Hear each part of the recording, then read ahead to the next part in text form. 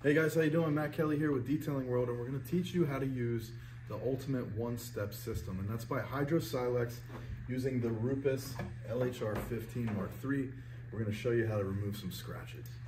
So first thing you want to do is shake up your product, make sure that uh, everything is mixed up proper, and you're only going to use uh, a few pea-sized drops, so about four pea-sized drop on the five-inch pad is more than enough for you to get the job done. And uh, as you can see here, I 50-50, so we're gonna correct one side so you can see the absolute difference.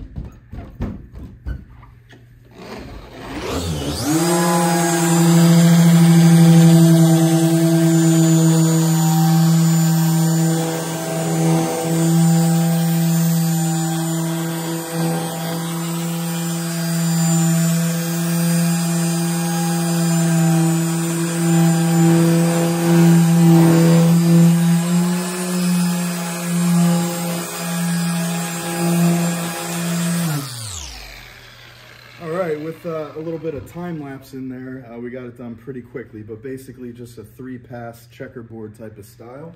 Um, using pressure in the beginning with the last pass with just the weight of the tool. Um, let's wipe this off and see what we got left.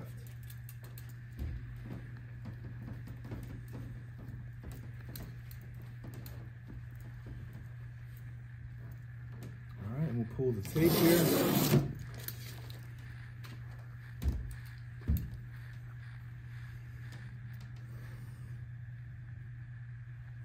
As you can see, the before here and the after, right?